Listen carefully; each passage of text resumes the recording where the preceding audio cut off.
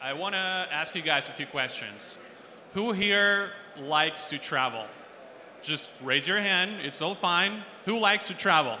Don't be shy, come on. Just a few people? Okay, that's good. Who here hates to travel? I hate to travel. I'm gonna tell you why. Don't get me wrong, I really, really enjoy being in all sorts of cool places like Barcelona or Prague or Moscow, but I hate the process. It's horrible.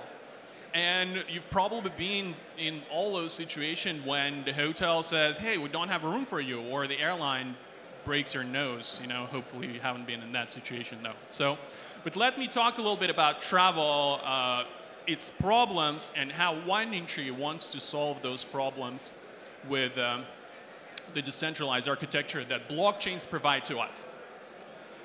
Uh, so the name of the project is, of course, Winding Tree, and it's a B2B decentralized marketplace for travel. But let's start from the very beginning. What is the problem here? And the problem, of course, is that not a lot of people know that, but the problem is that the travel industry is dominated almost fully by just a handful of large corporations. Uh, here's some numbers. So 92% of uh, all non-direct hotel reservations in the United States go through either Expedia or Priceline, just two companies. So if you don't book directly with the hotel and you think you're using Kayak or Orbitz or some other company, no. Actually, all those brands belong to either Expedia or Priceline. Here's another piece of information. So uh, there are three GDSs, we call them, global distribution systems out there that completely dominate the airline industry. There is, if, you're, if you have an airline, you have no other choice. You either sell direct or you go through one of those three companies. And of course, this situation uh, brings up a lot of interesting problems. So one is high transaction fees. Of course, if you have two companies on the market and everyone has to work with them, of course they will be charging crazy transaction fees, like in the hotel industry, for example, up to 25%. So another problem is that there's no innovation. So imagine uh, you see it, and uh, there's a, there are a lot of many people from Russia here. So an example from Russia is you have a lot of oil. You see it on a gold mine. Why do you need to innovate? The answer is you don't have to innovate.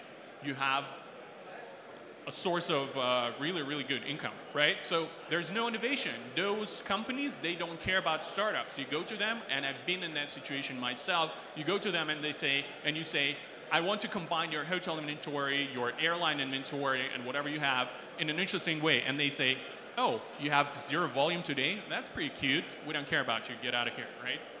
There's no innovation in the travel industry because of this oligopolistic nature of, of the travel industry.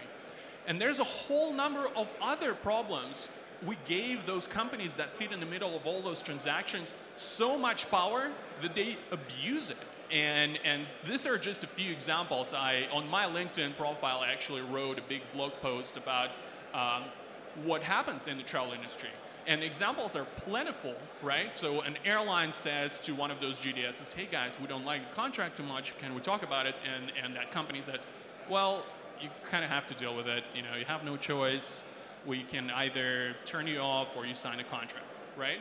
The, power, the abuse of power is one of the biggest problems, of course, not just in the travel industry, and, but in all sorts of um, other industries as well.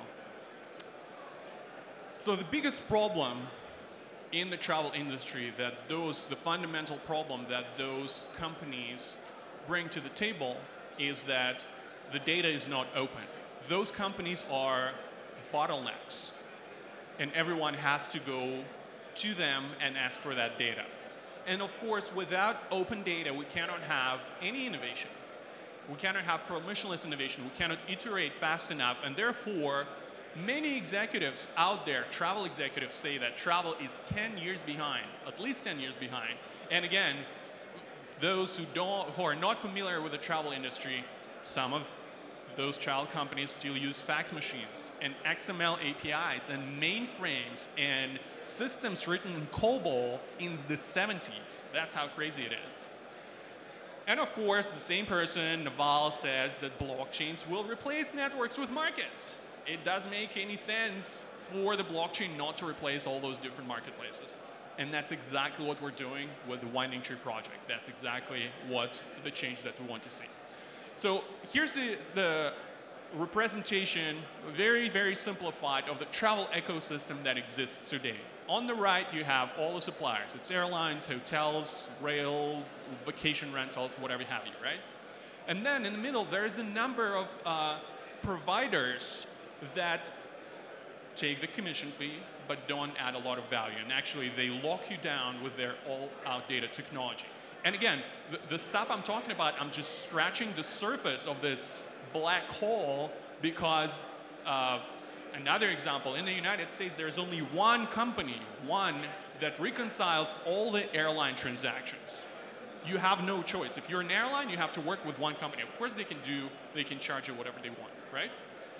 And I've been working on this graph um, for a long, long time. Unfortunately, the animation, because it's a PowerPoint, is not too fast. But uh, for about a few months, I worked on this graph, and it looks like this.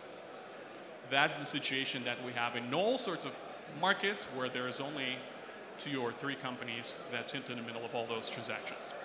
And of course, blockchain allows us to do this. So let me talk about what Winding Tree is doing in order to fulfill this version of the future. Our version of the travel ecosystem looks like this. Winding Tree creates a protocol, a set of smart contracts based on the standards that we developed with our partners, with our airline partners and the hotel partners as well. Um, and again, we're not just limited to hotels or airlines. It's about rail, it's about all modes of transportation, it's about all modes of uh, accommodation, et cetera, et cetera. Um, it looks like there's something, there's a blob in the middle. But of course, we all know what decentralized network really means. So there is no bottleneck.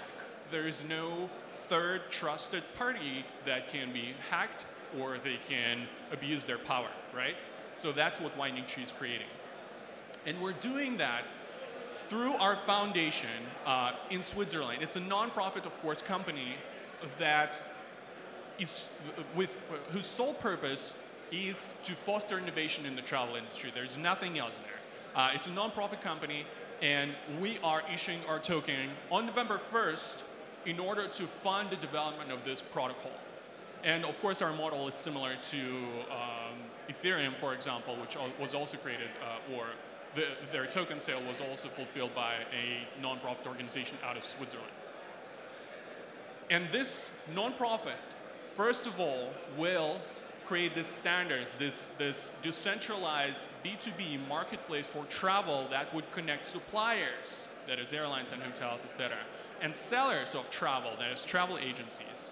Um, because we have to open up the data. Without open data, we cannot have innovation. But after that, the foundation will, will fund also sorts of different projects that will add to the value of the marketplace, that will make the marketplace more successful and it's going to be all sorts of open source projects. And an example of that, can you imagine that out there today, out there, there, there are no databases of all the destinations in the world uh, that you can go and take and use in your project. None, zero. We will find a project like that and make the development of all sorts of travel-related services much, much easier for everyone. And of course, it's all sorts of events. Another mind-blowing fact is that uh, there were no events, and still up until now, there are no events for software engineers in travel and for startups in the travel space. Before I started a company, uh, uh, a conference called Travel Tech Con in San Francisco, and we've been, we've been running that conference for two consecutive years, and there are no other events like that in the world. This is how dated the travel industry is.